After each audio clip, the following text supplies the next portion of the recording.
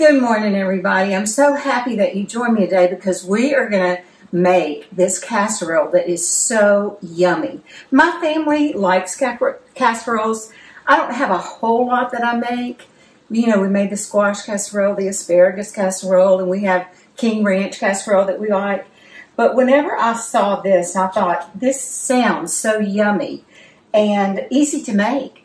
And so, um, I believe that the woman's name was Miss Daisy. And if I'm wrong about that, I'll try and find out and correct it. Now, we have a very famous chef in Middle Tennessee, Miss Daisy. She has, um, she's been here for a long time and everybody just loves her. She's a wonderful chef. But this is North Carolina's Miss Daisy. so what I did first was I took a half of a large onion and cut it up and then I just sauteed it enough so it would have a little bit of color. I put a little bit of olive oil in the bottom of the pan and then I'm, I'm browning, as you can see, I'm trying to get the angle where you can see it better, um, two pounds of hamburger meat. And so um, I think that's what I liked about this casserole was that it had really just good staple ingredients. And you know, if you are going to a potluck supper at church or friend's house and everybody's bringing a dish, you will love, they will love this. So you need to try it. Um, I am um, so excited to see all this, my Dana's Kitchen family this morning. So thanks for tuning in. Thanks for sharing. Thanks for subscribing. And thanks for following my page and, and leaving me all those comments. So, oh, I was going to show you this little tool. Now, this is a tool that you get to um, kind of mash things, but for ground beef, it is perfect because it makes it into in crumbles more than rather than patties, and it really works. I have enjoyed. I don't have a huge amount of tools because I just don't have space to store them all, but. I love this one, and I think you're going to love it too if you want to get it. So you see, all I did was ground um, brown the ground meat, and then use this little tool, and it's perfectly um, a perfect consistency right now. So y'all forgive me just a minute. I'm going to run over to the sink and I'm going to drain the um, liquid off.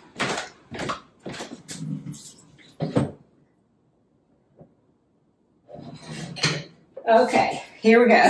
Thank you for letting me do that. Um, so here is our ground beef, and now I'm going to add a teaspoon of salt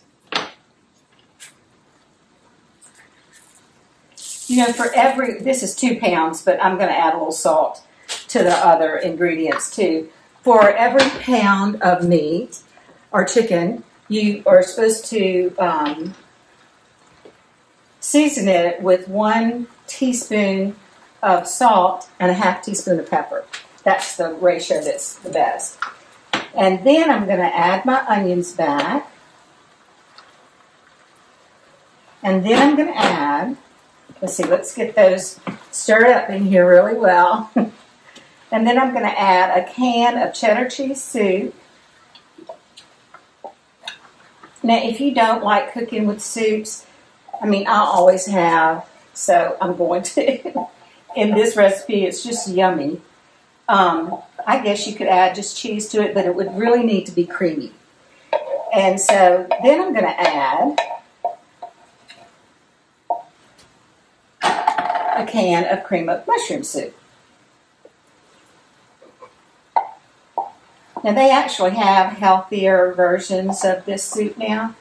If you want to get that, if you if you uh, if your family you know needs that, then you can get the ones that have a little bit healthy request. I think is what they have on them. And so then I'm going to mix this in really well. And you can see how it's going to be so creamy. You know, every casserole, casseroles are just great because you can bring them to someone if they need a meal or if they just had a hard week. you can make it for yourself, your family, if y'all have had a hard week on the weekends. Um, but they just, I don't know, they just touch you in such a way that they're so comforting. And uh, so it needs to, casseroles need to have some kind of meat, if it's some, if it's that type of casserole, and some creamy sauce and some veggies. And so um, this actually doesn't have a topping. I'll show you whenever we put it together. But the ground beef kind of acts like the topping. And um, it's just so yummy. Honestly, I saw it and I thought, I'm just going to try it and see. And I'm telling you, I'm so glad that I did because this is going to be a keeper around here for sure. So you see now it's all in, uh, in mixed together really well. And next we're going to load up the casserole dish and I'll show you the rest of the ingredients and how we load it up. I'm going to move my camera. So we'll be right back. Okay, y'all, so now we're going to uh, assemble our casserole. So the, the bottom layer is cabbage. So I'm just going to put my cabbage right down on the bottom layer. And you need to treat your casserole dish with either um, butter or vegetable spray or something because because you don't want it to stick and you want it to be easier to clean. And I'm going to layer each, uh, I mean season each layer. Whenever I cook cabbage, I use celery seed. And so I put a little celery seed, tiny bit of salt, and a tiny bit of pepper, just about a half a, about a fourth of a teaspoon.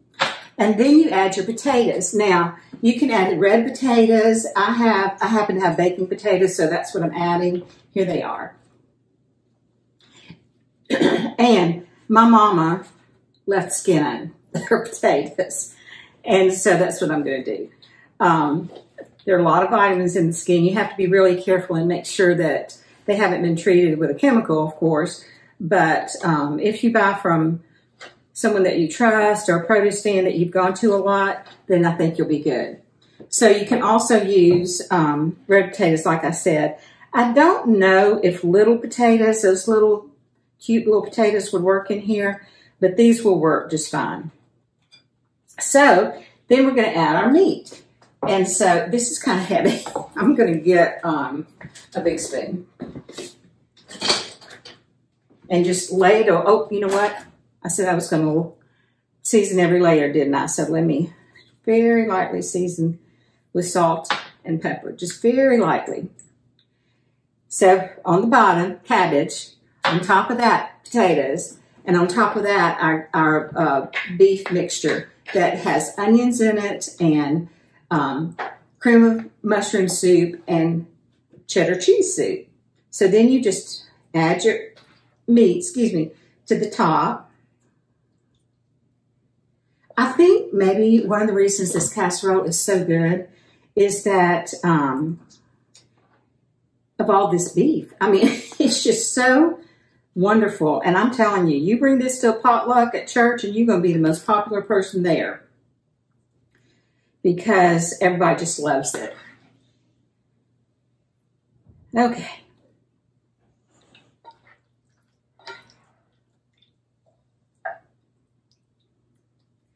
Little bit more. I actually have, I'm probably going to have to make two, another little casserole. I usually make this in a larger rectangle dish, but you have to cover it.